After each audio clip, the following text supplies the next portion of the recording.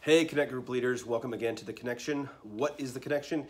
It is the place where you come in your everyday life to feed your calling, uh, to receive motivation, encouragement, and practical actions that you can take to connect with your small group. Today, I want to talk to you about tough questions.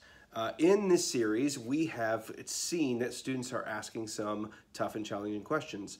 And so um, I just want to talk to you about what that looks like in the context of your small group. Um, so this Sunday, you might have some questions that you bump into that um, seem challenging, seem kind of sticky, seem kind of messy, things that kids are going through, things that their friends are going through. And there might not be a clear cut answer for every single kid.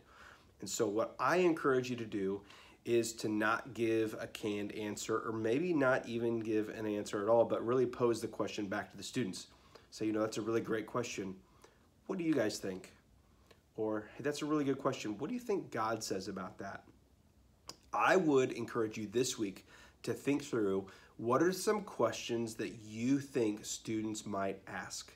What are some things that you think students would ask that you might not have a clear cut answer to?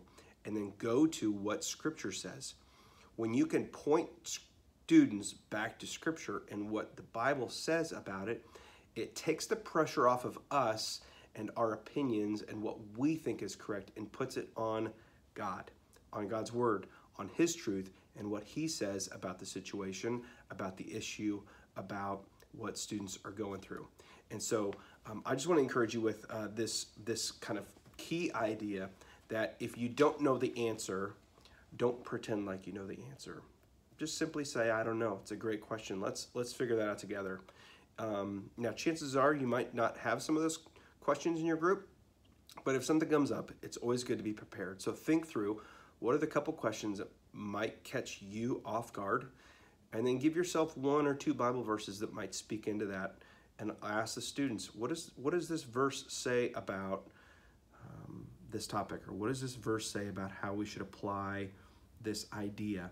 And uh, let God's word do the speaking and when God's word does the speaking it allows us to step back and let him transform the hearts of our kids. Thanks for stopping in the connection. Can't wait to see you again tomorrow. Thanks